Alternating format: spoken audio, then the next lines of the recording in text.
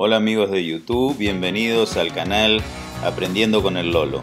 Quiero darle la bienvenida y vamos a pasar un tiempo muy bueno. Quiero decirle que estamos muy contentos, ansiosos, el canal está creciendo muchísimo, somos 60 eh, aproximadamente los que están siguiéndonos y esto va a ir creciendo cada día. Así que les invito a participar de, esta nueva, de este nuevo capítulo. Quiero mostrarles los avances que hemos hecho en este último mes y creo que va a ser muy interesante que te prendas a mirar todo lo que hicimos. En este capítulo quiero adelantarles que vamos a hablar del cegado de las ventanas y también cómo vamos a tratar de que no pase el calor ni el frío hacia el minibús. Bueno, como les venía diciendo, ahora vamos a ir trabajando un caño estructural 2020 de 2 milímetros de espesor. Estos caños son sumamente importantes porque van a darle una estructura muy fuerte al cegado de la ventana. Saben que es necesario después eh, hacer el plegado sobre esos caños con eh, tarugos pop eh, o remaches pop para que quede fijada la chapa que vamos a poner. Luego les voy a comentar algo sobre este tema en cuanto a la chapa que vamos a colocar porque va a ser muy interesante que prestes atención qué clase de chapa vas a poner. Nosotros en el caso nuestro estamos haciendo la estructura eh, con el caño 2020 y lo soldamos con la eléctrica que ustedes van a ver. Eh, y electrodo de 2 milímetros y medio. También vamos a poner una chapa galvanizada. Después les voy a decir por qué vamos a poner esa chapa galvanizada. Bien, ahí les estoy mostrando la colocación de caño estructural de 2020. Lo separamos aproximadamente unos 34 centímetros, 35, puede andar bien. No muy separado porque esto va a servir para que la chapa apoye, la chapa que va a cegar. Así que esto lo vamos a ir viendo a medida que vamos caminando en esta escena.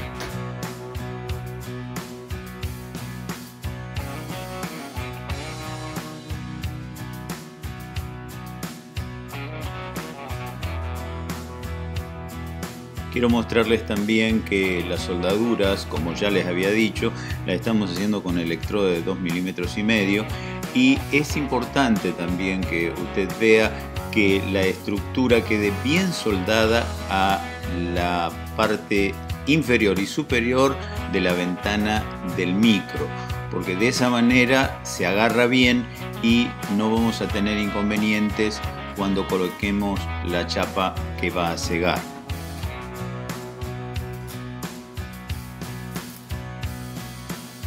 Como le dije anteriormente, eh, estamos soldando las estructuras esto va quedando espectacular. No se imaginan la fortaleza que tiene el caño estructural de 2020. No te hace falta poner un caño eh, más grueso ni de mayor espesor. Eso anda espectacularmente bien.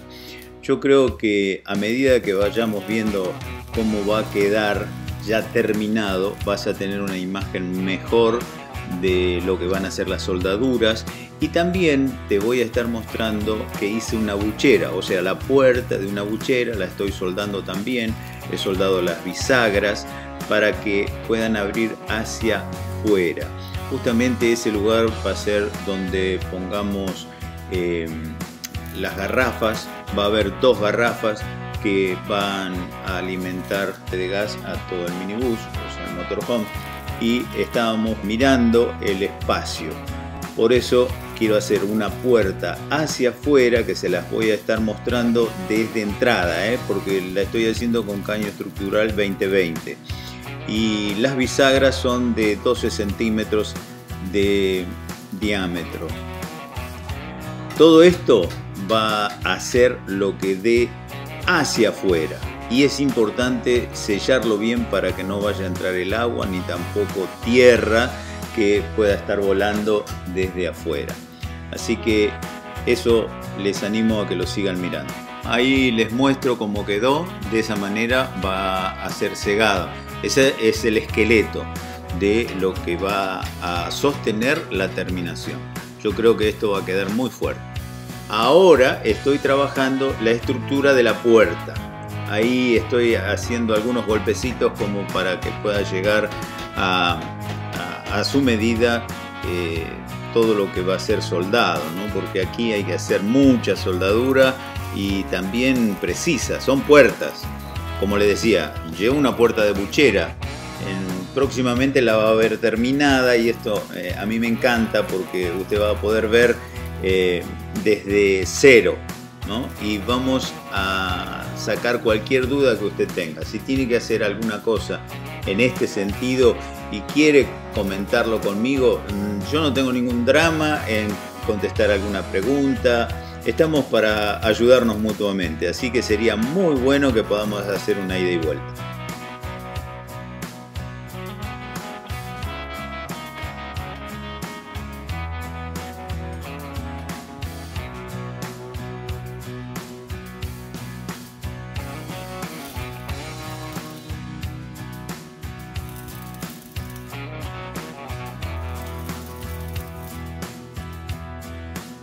Este momento le estoy mostrando la puerta y también quiero decirles que la tuve que agarrar con prensas como para que pueda estar fija. De esa manera va a abrir. Todavía está el esqueleto. La estoy abriendo y la estoy cerrando para ver cómo cierra, porque tiene que llevar una cerradura y tiene que combinar justo, justo, justo para que la cerradura eh, no esté dura. Estoy mostrando eh, la cerradura. Eh, fíjense, va muy bien. Y también eh, tuve que hacer un corte porque el minibus tiene un quiebre en ese lugar y la puerta tenía que ser con ese quiebre. Y eso se va a reflejar después cuando pongamos la chapa de cegada.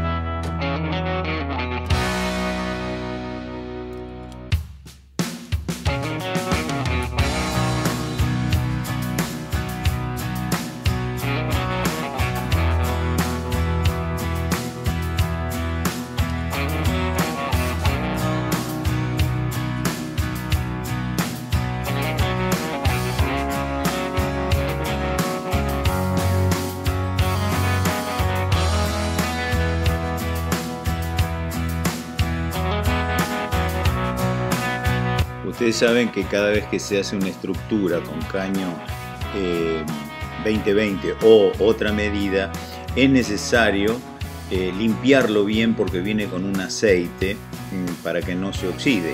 Entonces, en este caso yo le puse thinner y lo estamos pintando con antióxido convertidor color negro. Y de paso tomamos un mate que nos viene espectacular. Ahora quiero mostrarle la colocación los remaches pop en la chapa galvanizada que van a estar agarrados a la estructura del 2020. Todo esto se va a hacer con un pegamento que se llama Perbond de la parte de atrás para que la chapa no vaya a hacer ruido ni vaya a flamear. Ahí le estoy mostrando una bisagra, eh, tiene una arriba y una abajo que van a fijar a la puerta. Ahí le estoy mostrando la chapa eh, que va a cegar la ventana. Vamos a hacer todos los agujeros para poder poner los remaches pop. Le pido algo si usted va a trabajar sobre eso. Tome bien las distancias de dónde está el caño eh, del otro lado 2020 porque es importante que usted haga los agujeros donde va el caño 2020 para que se pueda agarrar el pop. Si usted le erra, eh, usted va a tener agujeros que no le van a servir y eso después lo va a tener que rellenar. Entonces es importante que tome la distancia, la marque en la misma estructura del minibús y no va a causarle problemas esto. Ahí estoy haciendo los agujeros para agarrar a la estructura del micro, no a la que soldé yo. Esa es estructura del mismo micro. Es importante hacerlo por donde yo le decía.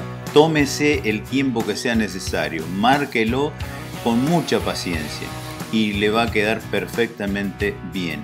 Ahí usted está viendo, a veces estamos muy incómodos y está viendo que estamos llegando al final. estoy poniendo con la remachadora eh, los remaches. Se van a ensuciar un poquitito la remachadora cuando usted está poniéndolo porque el perbón a ser apretado contra la estructura del minibús sale un poquito afuera eh, y le va a costar después sacar el clavo que queda dentro de la misma eh, remachadora. Pero tómelo con paciencia y apriételo bien.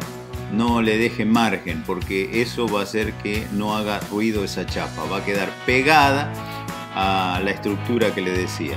Discúlpeme si por ahí repito lo mismo, pero sabe que quiero dejarlo bien asentado. Esto tiene que quedar perfectamente bien para que después usted no tenga ruidos ni tampoco pasajes de agua, porque el micro puede ir un día de lluvia y usted si no selló bien ahí, usted va a tener problemas en el interior eh, porque le entra agua a el motorhome.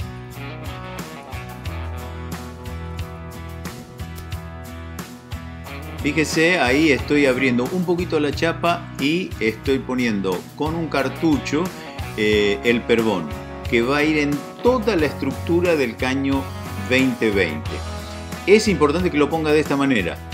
Si no, si lo llega a poner antes, va a secar y usted va a tener elevación en la chapa. Usted tiene que ponerlo cuando la chapa ya está colocada y de esa manera va a quedar perfectamente asentado.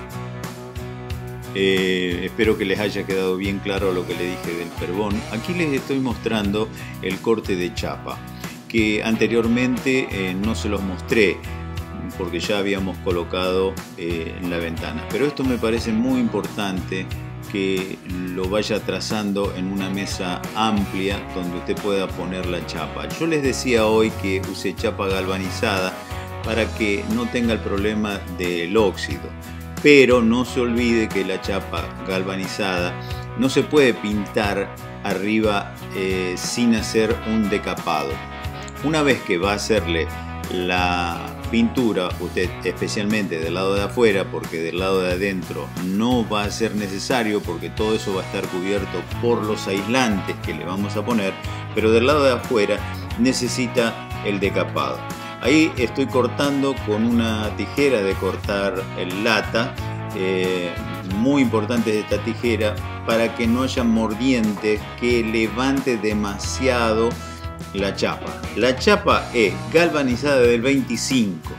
Es muy importante que sea del 25, no ponga del 27, porque si usted pone la del 27, es como las que usan en los carteles que usted pasa por la ruta y los ve.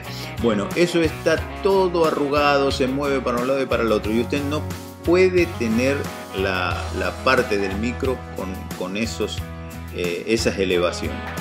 Fíjense que es una chapa bastante rígida, una chapa fuerte y yo creo que una vez que la colocó, usted va a tener que hacerle esto. Fíjense, cuando yo estoy golpeando así la tijera, me dejó pequeñas elevaciones. Y es necesario que eso no esté, porque son filtraciones de agua. Usted tiene que bajar todo eso y tiene que quedar recto.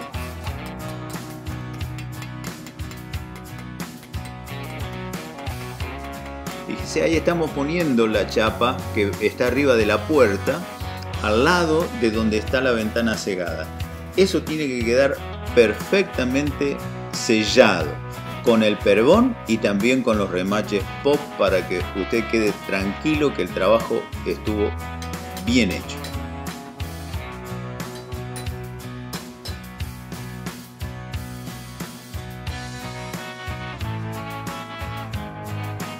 Ahí usted está viendo cómo quedó el perbón y cómo quedó la chapa. Luego vamos a golpear la chapa para que usted vea cómo el perbón agarró eh, y la fijó y también mire cómo quedó. Quedó bien remachada y también sellando todo, toda grieta que puede haber entre una chapa y la otra, cosa que no pueda entrar eh, ni humedad ni tampoco lluvia. Estamos eh, tapando con tergopor. Este es un tergopor no de alta densidad. Se recomienda el de alta densidad, pero como yo voy a poner un polec eh, sobre esa estructura de tergopor.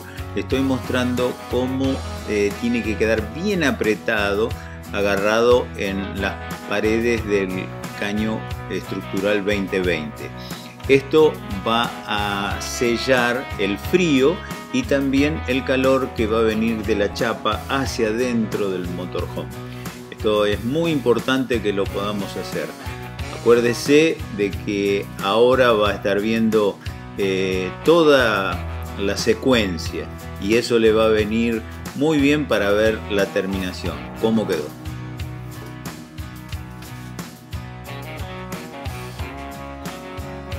Quiero comentarles que el hecho de traer los materiales los estoy, lo estoy haciendo con otro motorhome. Saben que tengo una Master 2004 muy linda, está funcionando muy bien, estamos trabajando con eso. Ya les voy a contar el viaje que hice. No se imaginan el movimiento que hice con esa Master.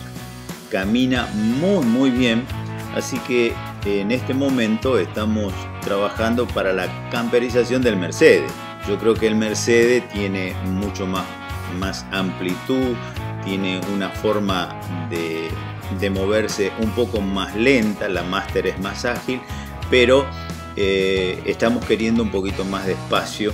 Este, este video les va a mostrar eh, la amplitud que tiene. Ya les voy a mostrar también la Master por dentro, lo que tenemos.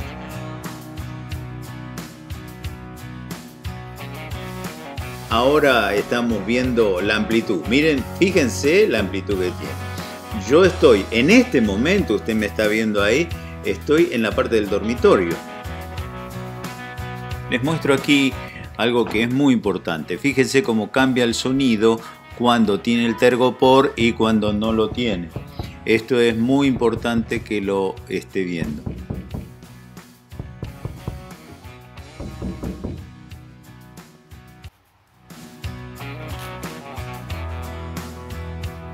Miren cómo quedó este sector, está muy bien sellado y también le estamos colocando una madera que va a ir con unos tornillos eh, que fresan y entran en el caño 2020. Esto lo fija y también va a fijar la, la terminación porque va a ir también una melamina que le da la terminación a la ventana.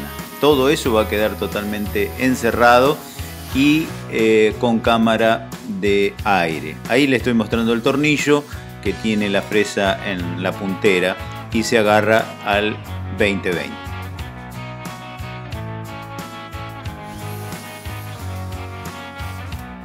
Bueno, seguimos con la terminación del baño.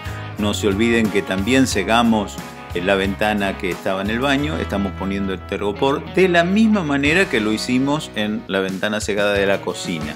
Esto eh, les muestro también, son retazos que podemos poner en, las estructuras para no desperdiciar el tergopor. Todo se puede usar. Y también quiero mostrar que hicimos eh, el, el trabajo de los ojos de buey.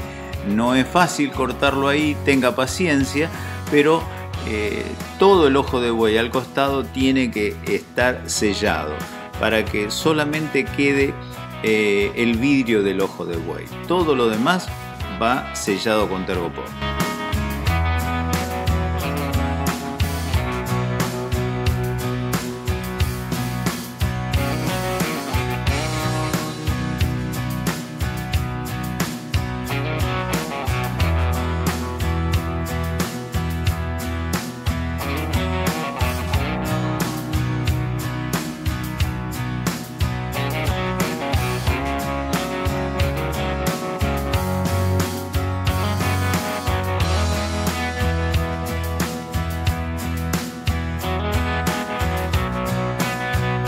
Bueno, así quedó el baño, fíjense cómo están los ojos de buey, cómo se ven, y vamos a empezar a trabajar una estructura que va a ser de base. No se olviden que el baño va a estar forrado con vinílico.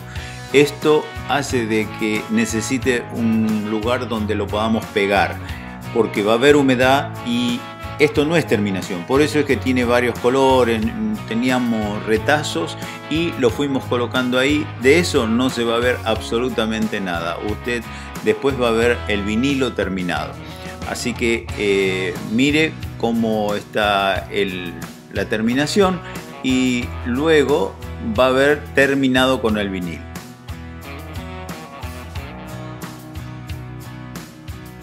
Espero que les haya gustado.